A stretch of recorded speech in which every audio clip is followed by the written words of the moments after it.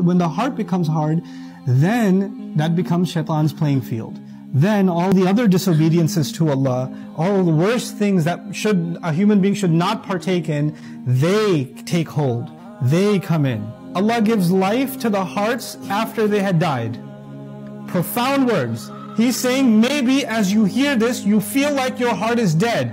You're right, I haven't felt anything. You're right, I do feel disconnected. I do feel like my heart is dead. And Allah says, that's okay. If you feel like your heart is dead, then know one more sunnah of Allah. Allah takes the earth that's dead and brings it back to life. So your heart that is dead, it's okay. Allah can bring it back to life. It's not a hopeless case because Allah gives life to the dead.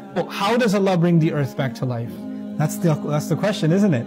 How does Allah bring the earth back to life? When it stops raining, when there's no water, the earth dies. When it rains, then life comes back. And rain comes from the sky. The pure water comes from the sky. Just like Allah's pure words come from the sky. This is why Allah compares often in the Quran, He compares Quran to rain also. Allah compares Quran coming from the sky and water coming from the sky. So what is Allah telling us in between the lines? He's telling us that you should really think about connecting and responding to Allah when Allah speaks to you in the Quran. Some of you know nothing about the Quran. Some of you know a lot about the Quran. That doesn't matter. Because the heart that knows a lot, or the, the mind that knows a lot, and the mind that knows nothing are equal when it comes to the remembrance of Allah, because this is not what's being filled. This is what's being filled. And this one needs refueling all the time. Think about water for a moment. You don't say, well, I already had water yesterday, so I'm okay now.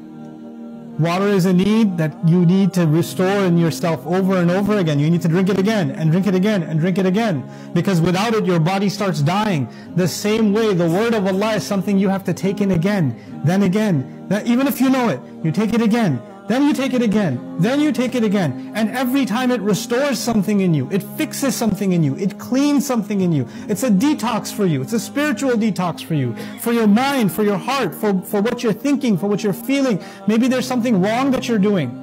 And you don't have the strength to get out of it. The word of Allah will give you the